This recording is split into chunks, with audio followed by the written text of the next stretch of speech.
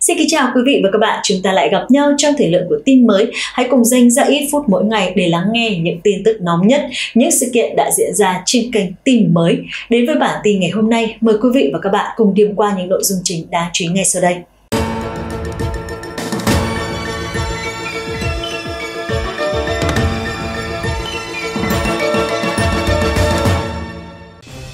Xin chào quý vị và các bạn đã trở lại với tin mới với những tin tức về đợt lũ lụt kinh hoàng đang diễn ra tại Trung Quốc. Thưa quý vị và các bạn, đợt lũ lớn nhất từ trước đến nay sẽ đổ bộ vào con đập Tam Hiệp của Trung Quốc vào hai ngày tới. Trước đó vào ngày hôm qua, đập Tam Hiệp của Trung Quốc đã phải mở 9 cửa xả sâu để xả lũ.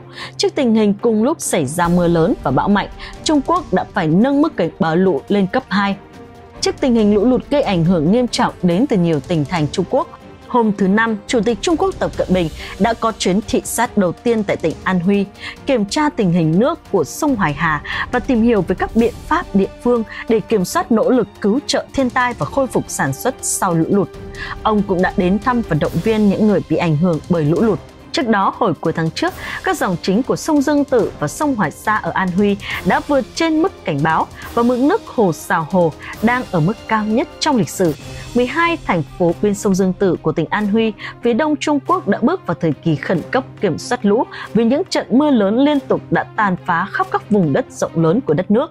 Theo dự báo của Ủy ban Tài nguyên nước Trường Giang thuộc Bộ Thủy lợi, lưu lượng nước chảy vào hồ chứa ở tỉnh Hồ Bắc miền Trung Trung Quốc sẽ lên tới 72.000 mét khối mỗi giây vào hôm thứ Năm và thứ Sáu tuần này. Và trong ngày thứ Sáu, lưu lượng nước chảy vào đập Tam Hiệp ước đạt hơn 76.000 mét khối mỗi giây sau khi mưa lớn liên tục ập vào thượng nguồn sông Dương Tử trong suốt 10 ngày qua.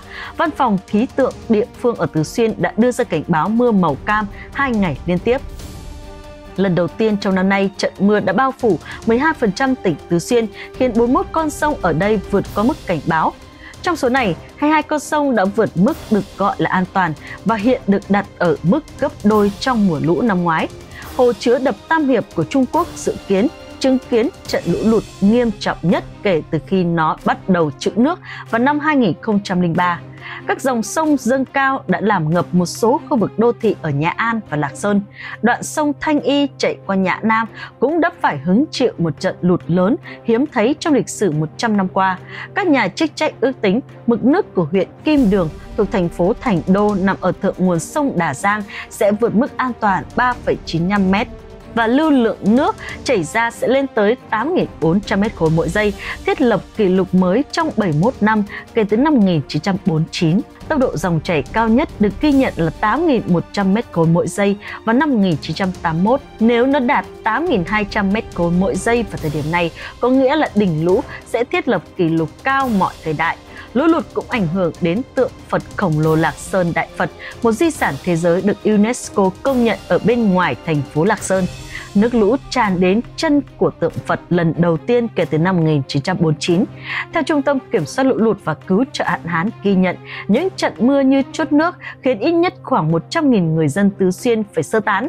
Trước đó, bão số 4 hình thành từ Đông Bắc miền Đông đổ bộ khiến cơ quan kiểm soát lũ lụt và cứu trợ hạn hán Trung Quốc nâng mức phản ứng khẩn cấp về lũ từ cấp 3 lên cấp 2, mức cao thứ hai trong thang 4 cấp độ vì mưa lớn dự kiến vẫn tiếp tục diễn ra ra trên khắp đất nước. Sức gió gần tâm bão mạnh cấp 10, từ 90 đến 100 km mỗi giờ, giật cấp 13. Dự báo trong 24 giờ tới, bão số 4 di chuyển theo hướng Tây Tây Bắc, mỗi giờ đi được khoảng 20 km đi vào đất liền phía nam tỉnh Quảng Đông, Trung Quốc và suy yếu dần thành áp thấp nhiệt đới.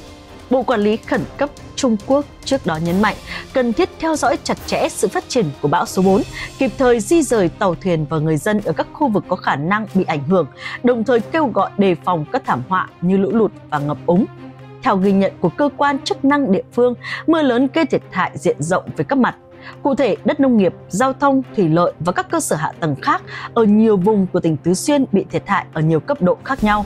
Thành đô, thủ phủ của Tứ Xuyên cùng các thành phố Đức Dương và Miên Dương cũng chịu ảnh hưởng nặng nề. Bộ Quản lý Tình trạng Khẩn cấp Trung Quốc ước tính tổn thất kinh tế trực tiếp của thảm họa mưa lũ là 28 tỷ đô la Mỹ do đất nông nghiệp, đường xá và các tài sản khác bị phá hủy, khoảng 57 triệu người bị ảnh hưởng. Mới đây, Hội chữ thập đỏ Trung Quốc đã khẩn trương gửi đồ cứu trợ đến các tỉnh đang chịu ảnh hưởng nặng nề bởi thiên tai. Tổng cộng đã có 3.400 gói hàng cứu trợ gia đình, 1.800 và 1.900 áo khoác đã được gấp rút chuyển đến các khu vực bị ảnh hưởng. Các đội chữ thập đỏ địa phương như Thiểm Tây, Tứ Xuyên đã ngay lập tức huy động các lực lượng dân quân, quân đội sơ tán người dân về nơi an toàn, tránh xảy ra thiệt hại về người đây được xem là hai tỉnh chịu thiệt hại nặng nề nhất về đợt mưa lũ lịch sử trong tháng này. Theo thống kê từ Bộ Quản lý Khẩn cấp, Bộ Tài nguyên Thiên nhiên, Bộ Tài nguyên nước, Bộ Nông nghiệp và Nông thôn và Cục Khí tượng của Trung Quốc, so với cùng kỳ năm 2022, số người bị ảnh hưởng bởi thiên tai năm 2023 tại nước này tăng 78%, số người chết và mất tích do thảm họa giảm 30%, số lần phải di tản khẩn cấp tăng 135%, nhà bị sập tăng 17%, thiệt hại kinh tế trực tiếp tăng 137%. Mưa lũ kéo dài trong thời điểm này khiến nền kinh tế lớn thứ hai thế giới phải đối mặt với thảm họa kép, vốn đang trong tình trạng mong manh vì đại dịch. Lũ lụt cũng dấy lên mối lo ngại về an ninh lương thực tại quốc gia tỷ dân. Đến nay, Bắc Kinh phải đảm bảo nguồn cung cấp lương thực bằng cách nhập khẩu một lượng lớn sản phẩm từ các nước khác và giải phóng hàng chục triệu tấn từ các nguồn dự trữ chiến lược. Tuy nhiên, dịch bệnh và căng thẳng giữa Trung Quốc và phương Tây có thể khiến việc nhập khẩu trở nên phức tạp hơn trong tương lai. Các quan chức Trung Quốc đã cảnh báo rằng lũ lụt có thể lan rộng hơn về phía Bắc, đe dọa đến thu hoạch lúa mì và ngô của nước này. Theo đó, nếu lũ lụt được kiềm chế vào cuối tháng này, tăng trưởng GDP nông nghiệp có thể giảm hơn 1,5 tỷ đô la Mỹ, sản lượng nông nghiệp bị tổn thất. Con số này dựa trên những thiệt hại được ghi nhận vào giữa tháng trước tại 7 tỉnh miền Nam bị ảnh hưởng nặng nề.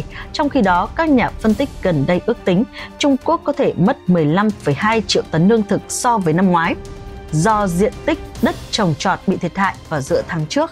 Con số này tương đương 10% lượng gạo mà Trung Quốc sản xuất. Bên cạnh đó, giá một số loại nông sản tại Trung Quốc tăng cao.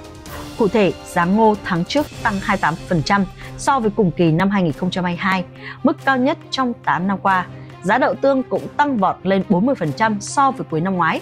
Căng thẳng Mỹ-Trung leo thang cũng là nguyên nhân đầy giá mặt hàng này lên cao.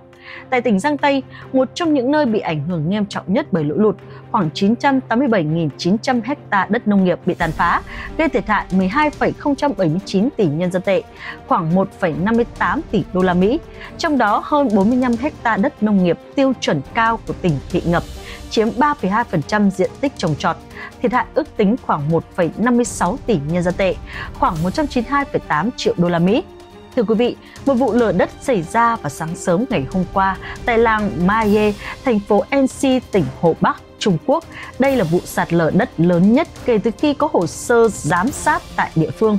Mấy ngày gần đây, Trung Quốc mưa rất to, thiên tai lan rộng khắp nơi. Vào sáng sớm ngày hôm qua, làng Mahe, thành phố NC, tỉnh Hồ Bắc đã xảy ra một trận lở đất người giám sát thiên tai đã phát hiện lở đất ngay lập tức thông báo sơ tán tất cả dân làng đến nơi an toàn. Theo báo cáo tổng hợp của các phương tiện truyền thông Trung Quốc, đập cát ở làng Maye, thành phố NC, tỉnh Hồ Bắc liên tục gặp nguy hiểm do mưa lớn tại địa phương. Trần Quang Minh, một nhà giám sát thảm họa địa chất 58 tuổi đã thấy một vết nứt khoảng 50 mét dài trên đường địa phương trong buổi kiểm tra của anh ấy vào sáng hai ngày trước. Linh tính có khác nên tôi đã nhanh chóng chụp ảnh lại và báo cho chính quyền. Sau khi nhận được tin báo, nhóm cán bộ liên quan đến hiện trường điều tra và yêu cầu người dân gần đó sơ tán 36 giờ trước khi sạt lở đất xảy ra. Và sáng sớm ngày hôm qua, một vụ lở đất quy mô lớn đã xảy ra ở Sajiba, nhưng tất cả dân làng đã được sơ tán mà không gây ra bất kỳ thương vong nào.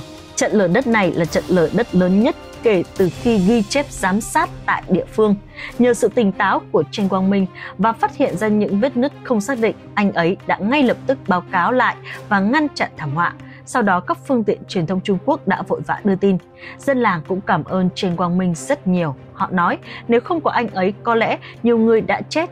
Trách nhiệm của tôi là báo cáo nguy hiểm kịp thời, Trần Quang Minh, một người theo dõi thảm họa địa chất 58 tuổi, trong quá trình kiểm tra đã phát hiện ra những vết nứt không xác định và vội vàng chụp ảnh để báo cáo lại.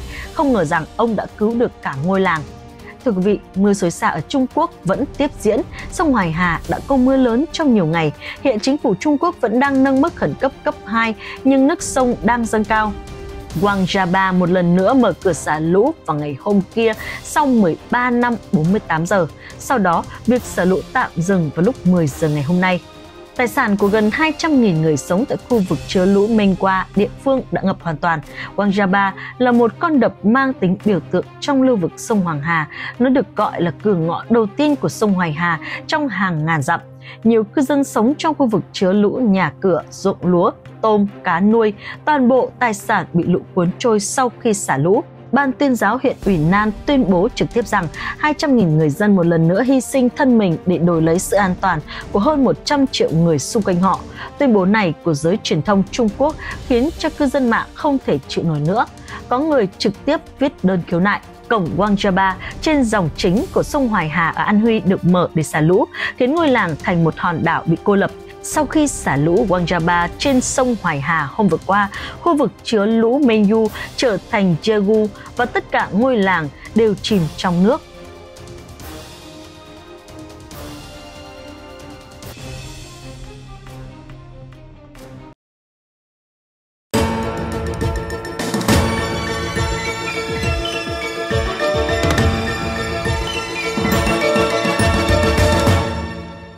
Là những thông tin tổng hợp chi tiết những nội dung nổi bật trong ngày của tin mới. Cảm ơn quý vị và các bạn đã chú ý theo dõi tới cuối video này. Mọi ý kiến đóng góp, quý vị hãy để lại trong phần bình luận phía dưới để đội ngũ của chúng tôi có thể kịp thời hồi đáp.